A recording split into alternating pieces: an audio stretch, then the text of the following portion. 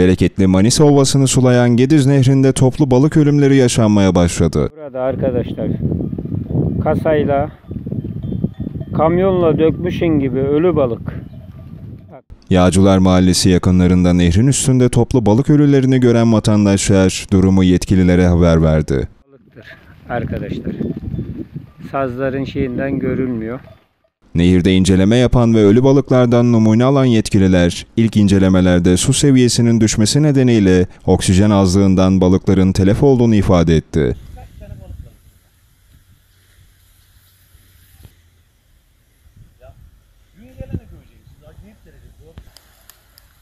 Daha fazla var.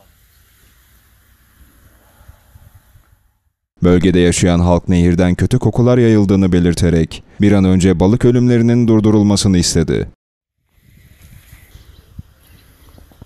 Öğle saatlerinde bir arkadaşımız hayvan bakıyormuş burada. Video kaydı yapıyor, çekiyor bana atıyor. Yani dünden beri bu durum böyle. Dün daha fazlaydı. Bugün biraz azalmış yani. Suyun rengi değişik. Balıklar zaten ölmüş. Yani durum berbat yani. Koku da var.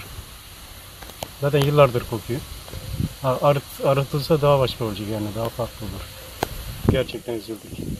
Zaten orman yan- yangınları üzdü. Bir de bunları böyle olunca. Vallahi durumu çok vahim görüyoruz. Bak burası böyle. Bazı senelerde oluyordu bu ama fakat bu sene daha fazla oldu. Ama acınca bir durum yani balıkların durumunu böyle görünce daha biraz da üzüntü yaratıyor yani insanlarda. E, çok var, çok var. Evet, evet mahsul suluyorlar. Vallahi bize bayağı da çok sağlıksız yani bu, bu durum.